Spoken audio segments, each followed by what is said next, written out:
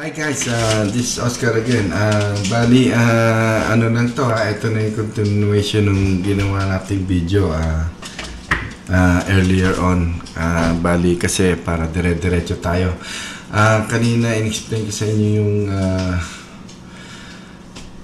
where to get uh, and, and uh, outsource your product. And, and this time, uh, what we're gonna do is we're just gonna add uh, uh, more product para ilalagay natin dun sa Shopify no? Makita niyo yung testing lahat. Uh, when I say uh, kung gagawa kayo ng uh, product uh, general right?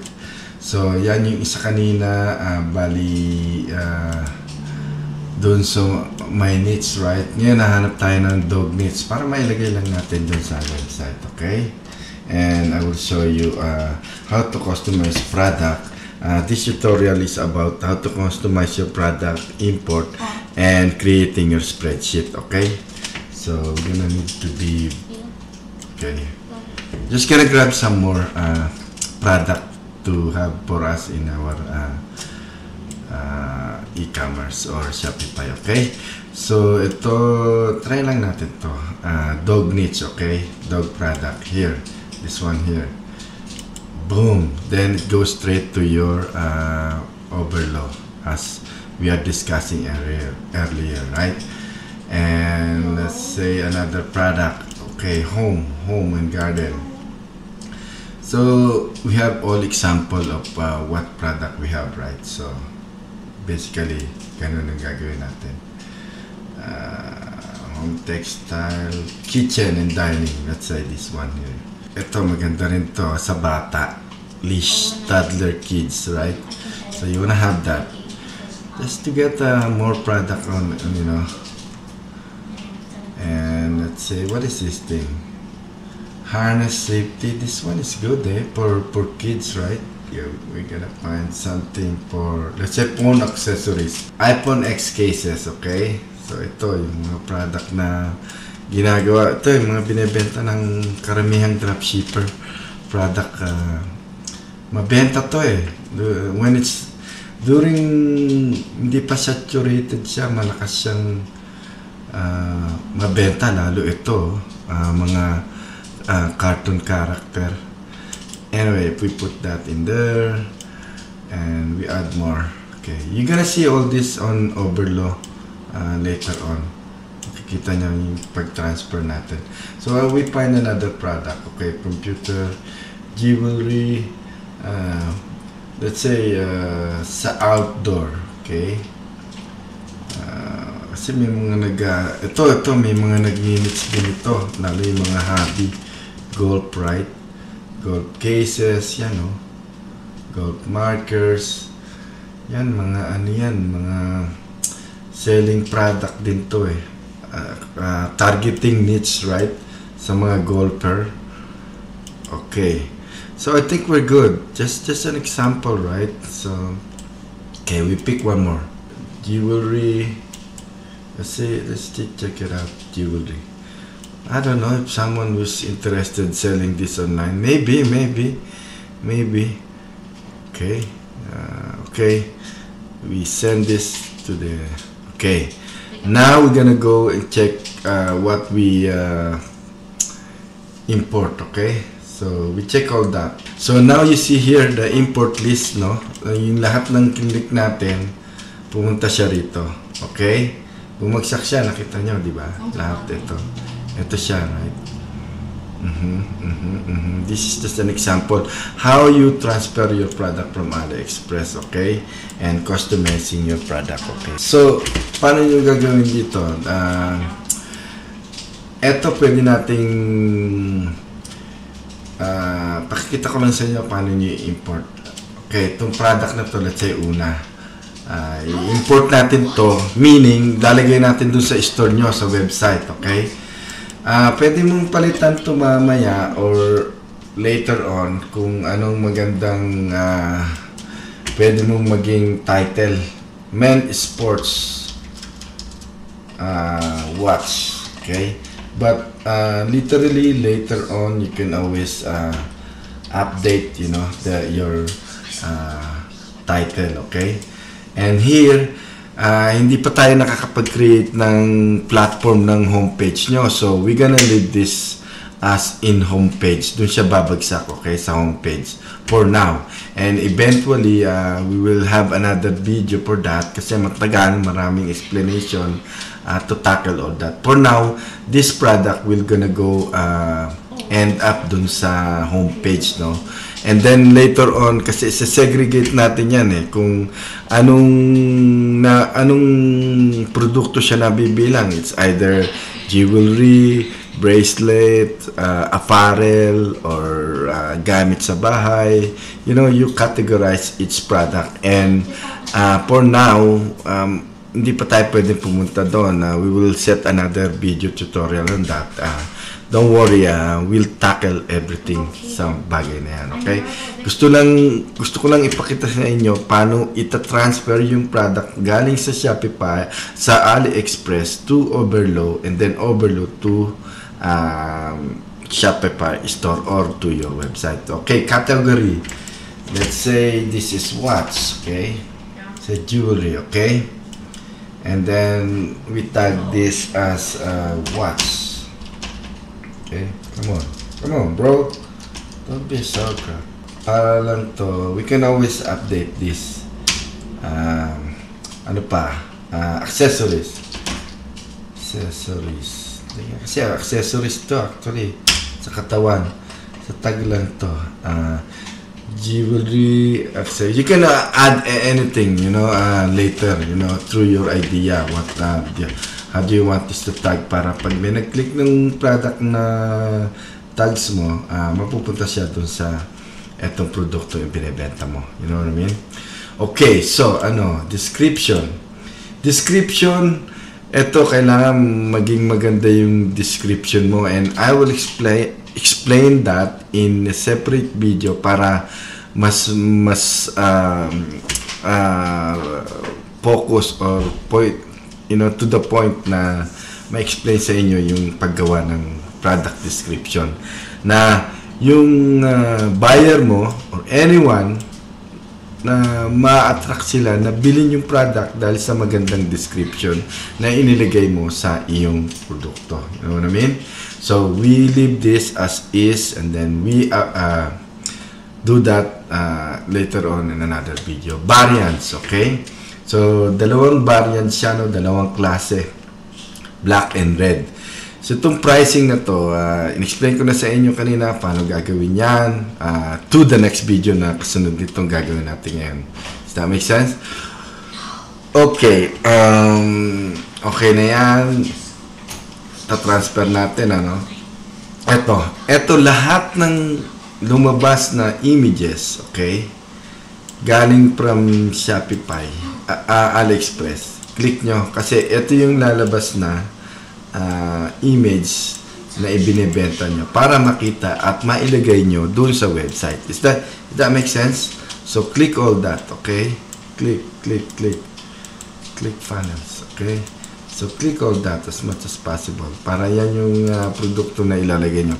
Or another way of uh, getting a good um, attraction to visitor is, let's say, kumuha kayo ng testing product from AliExpress, uh, you let them ship uh, sa address nyo, and then take a photo, uh, actual photo dun sa kamay nyo, or how you promote, find uh, a, uh, let's say, uh, model na magdadala ng uh, tong watch na to, you know.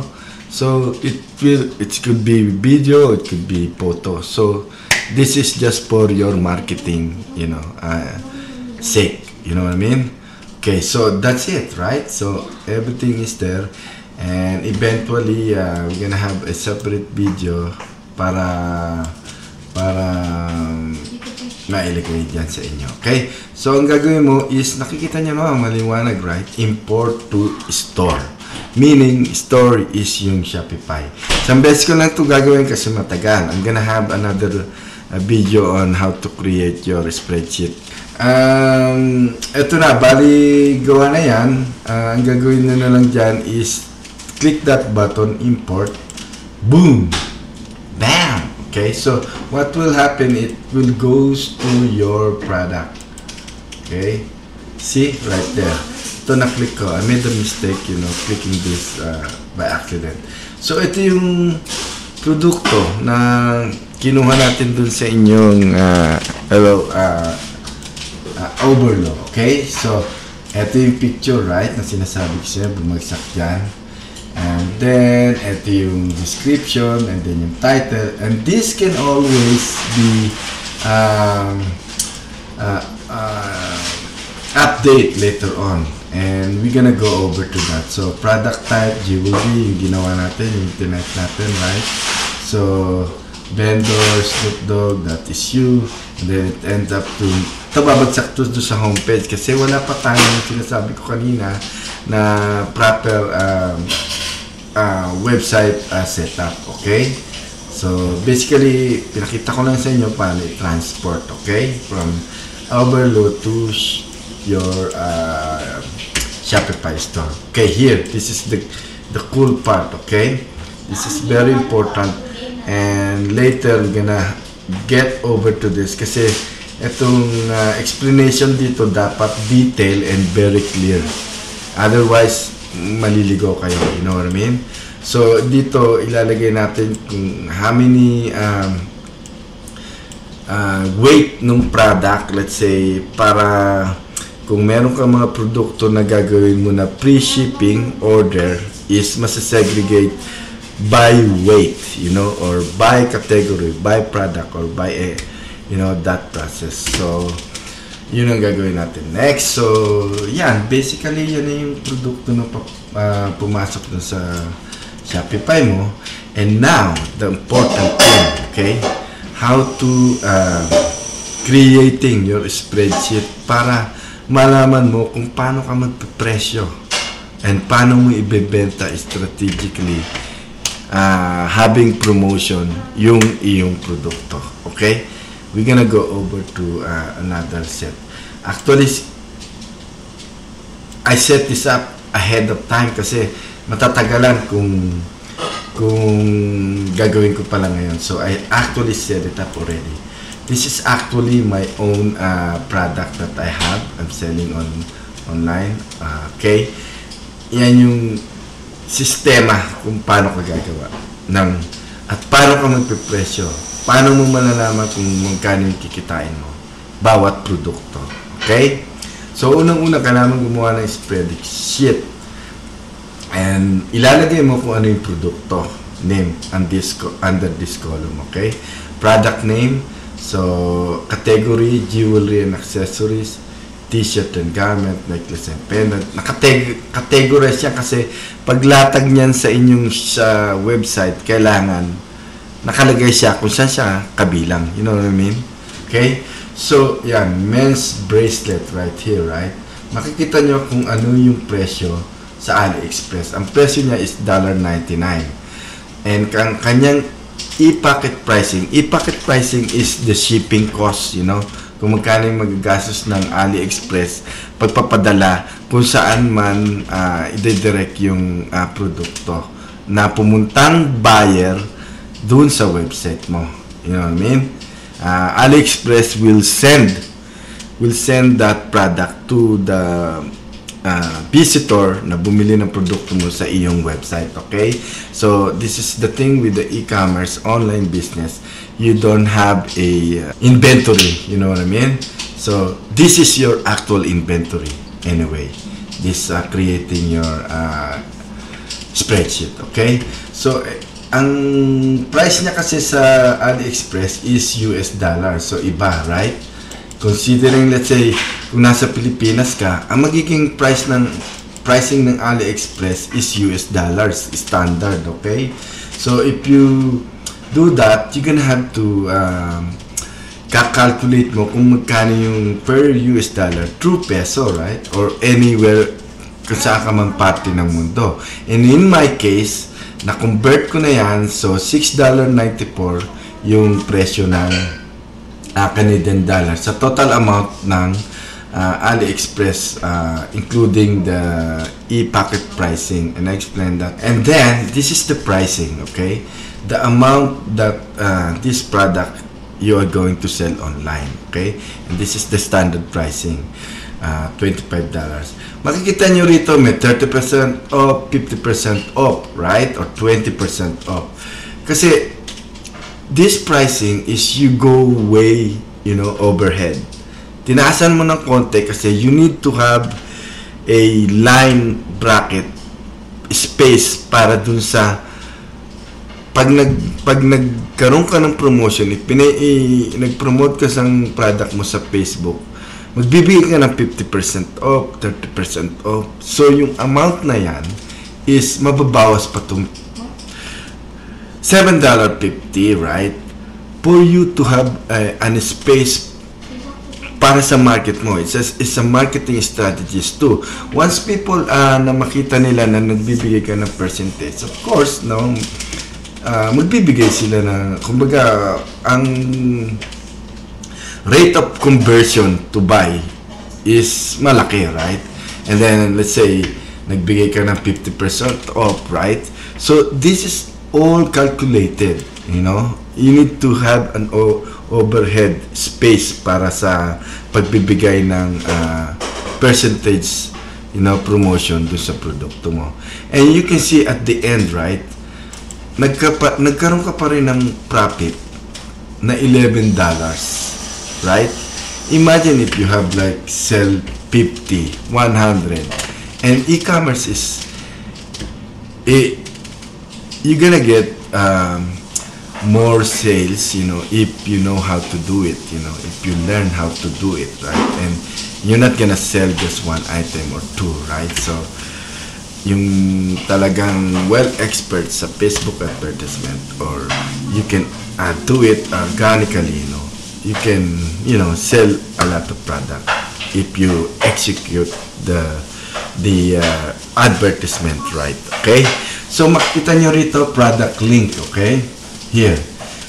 Uh, what I did here is, kinuha ko yung uh, site ng AliExpress. I will, I will explain it to you, okay guys? So, once you click this site, yung produkto na ito mismo is babagsak dun sa AliExpress once you click that because you copy what you're gonna do is you just gonna have to copy this URL here which uh, okay copy okay I, I just show you right so this is the actual product dito sa ginawa natin spreadsheet the men's charm bracelet that is the actual product okay That makes sense? Okay. So, yan yon. Makikita nyo rito, another good thing with this is, kung merong mga changes, update, ang AliExpress, right? Nagbago yung presyo nila. Hindi na sila nagpresyo ng $1.89 or the uh, the pricing for shipping change, right? Nagbago if you have that link na pwedeng uh, i-click, you know, i-click right away from there and send you to the uh, actual page on uh, AliExpress, di ba, napaka-easy, no? Ang dali. Ngayon, kung may mga changes, yung yung produkto sa Shopify, madali mong mababago. Madali mong mababago yung presyo, madali mong mababago lahat. You know what I mean? So, that is the powerful uh, setting. If you have, this is actually your inventory, you know, uh, doing a spreadsheet, okay? So, ayan yan. Okay? Detalye. Ngayon, para malinawan pa kayo ng gusto, I will not give you just value. I will give you a real gem value tutorial, okay? So, yan yon, di ba? Ito, this is blank, okay? So, ang gagawin natin ngayon, ito, kukunin natin itong produkto kasi ito yung kinuha natin. Ngayon, men's title, kukunin natin yan. Just copy na lang para hindi kayo mahirapan masyado. I will make your life easier, okay? So, paste it. Okay, see? Ando na, right? Ngayon, tingnan natin ngayon yung produkto na yon. Where is it? Anyway, we go back to Overlow. Uh, so we need to go back there, man. Uh, kasi kailangan natin makita yung produkto na yun eh. Saan natin kinuha kanina yun? Anyways, Mr. Uh, right here, okay?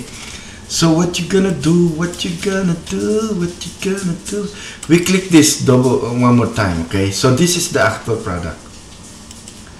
So ang gagawin nyo dito is uh, kunin mo tong URL na to, okay? Where is that? Yeah. From this question mark until here. Highlight them and copy. And what you're gonna do next is you go over to your spreadsheet here.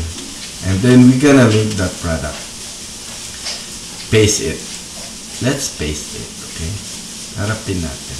Is that right? Okay, so it shows up, right? Directly, okay? So I'm just gonna cite the example. Once you click to, boom! There you go. That is the product right? Uh, uh, from your spreadsheet, lumabas siya rito. Ngayon kukunin natin yung presyo niya. See, see? AliExpress, AliExpress uh, only have like one price standards, so US dollar. So $13.99 guys. $13.99. Yan. Ito yung presyo niya. $13.99. Okay? US dollar. Tingnan natin yung kanyang e-packet. What is e-packet? E-packet is yung presyo ng pag-ship ng AliExpress. Makikita nyo kung ilang days, right? 16 to 26 days if they send the the product to Canada. Okay? That makes sense? Kung isa-send niya ang product sa Italy, let's say, try it. Find an e-packet on, there's no e-packet here, medyo mahal. And you can try this Ali standard shipping. Right? Makita nyo nagbago yung days, right? So, depending on, on, on which part of the world, nagbabago yung presyo. And the e-packet availability. So, here, sa kita nyo, 20 to 35, $2, right? Anyway. Okay, we go back now to, well, I am going to uh, basically wanted to ship this product. Let's say, bumagsak siya rito. So, $2.11. Yun ang price niya sa sa ano shipping. Okay? Right? Ngayon, so what you gonna do? I-convert mo yan. So, $13.99, right? Plus $2.11. 0, 1, 1, 6. Ang naging total amount niya is $16. $16 no um, sa US. So, kailangan mo na naman ng you need to go to Google, of course, yan lang ang sagot. Because Google is the answer to all your question. Anyway, uh, uh, conversion, Canadian, or if you're in the Philippines, to US dollar.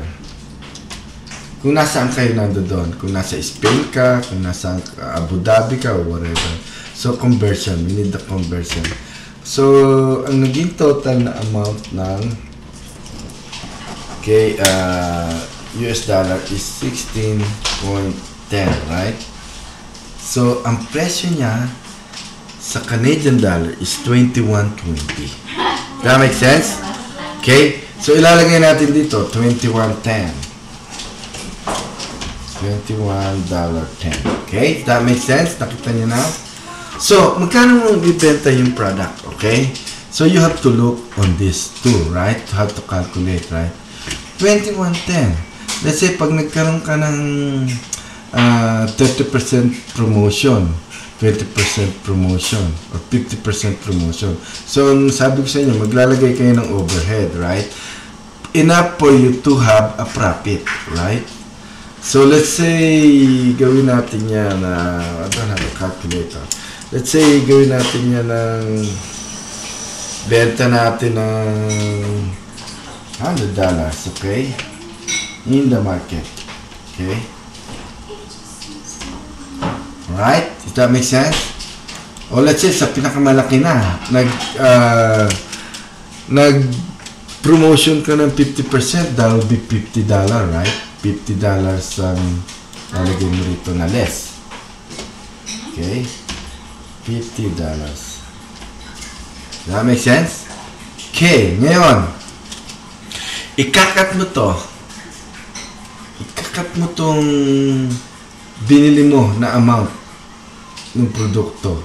Hindi mo actually binili. Yan yung ah, binili at binayaran kagad ng yung customer. Okay. So, 50 minus 21, you're still earning around uh, $29. Okay? Profit. Okay, for one product. 20. Okay, my question where the hell on earth na makukuha mo yung $29 profit? Wala kang, wala kang uh, upfront, you know, payment kundi yung lang website mo sa Shopify. And people who visit you uh, on your store will pay right away yung product bago nila bago mo i- ikunin sa sa AliExpress yung produkto. Sigurado nang binili ng tao or visitor mo yung produkto. You earn each product na $29. Does that make sense? So, that is how you're going to do it. This is basically your inventory. And I'm giving you, I'm sharing all the information to you guys, you know. This is a gem. If you follow this instruction correctly, there is no way you're gonna, you know, na maliligaw ka dito sa ginawa kong tutorial na to. Well, anyway, we're gonna have another video next time. I hope uh, you guys uh, find uh, value on this tutorial. Doon sa mga nag-inquire sa akin, no? Alam mo, minsan kahit na isa, dalawa, tatlo, lima na mag-inquire sa'yo and asking a favor na gano'n na gusto nilang matuto, you know, malaking ano na yan eh. It's, it, it's, a power, it's a good thing to do, no? Na makatulong ka sa mga ibang tao. You know what I mean? How much more if you help, you know, mas maraming tao ka matulungan with this, you know, uh, pre-tutorial. And as uh, the other guy say, mentioning, mahal nga raw kasi yung uh, kahit basic tutorial na sineshare. Minsan nag, uh, nagpapaseminar yung mga Pilipino sa atin hindi ko rin sila masisisi kasi they, they pay for that uh, knowledge no? Hindi hindi naman nila natutunan yon kung hindi they take effort and even uh, uh, nag-enroll din sila sa mga digital courses no? So they just want to make you know extra money on that on top of that. Kaya kaya naniningil sila no? But I'm giving this away for you guys you know for free and all this will be in our YouTube channel. All I want to ask from you guys is to subscribe to our uh, main uh, YouTube channel, uh, Maki Media Marketing, because I'm not gonna post this on my other YouTube account, the Birol Production. Birol Production is gonna be the wedding events and all that alone. So, hindi siya babagsak doon. So, yung mga dating sumusubaybay din sa akin sa YouTube na Birol, uh, uh, we gonna have an update and use the YouTube channel, uh, Multimedia, right now. So, anyway guys, uh, if you find value, ganun lang, uh, subscribe and follow us on our all social media platforms. Anyways, have a good day. Bye.